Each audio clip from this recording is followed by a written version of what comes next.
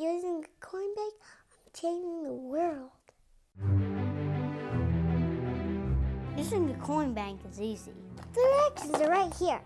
First, you fill up the box, then you collect the money. You put coins in the coin bank, and then when it's full, you take it to church. Then the church counts the money and then sends a check right off to the mission.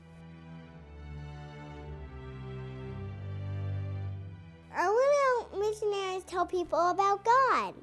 People need to hear about Jesus, and this is a way I can help them hear about Jesus.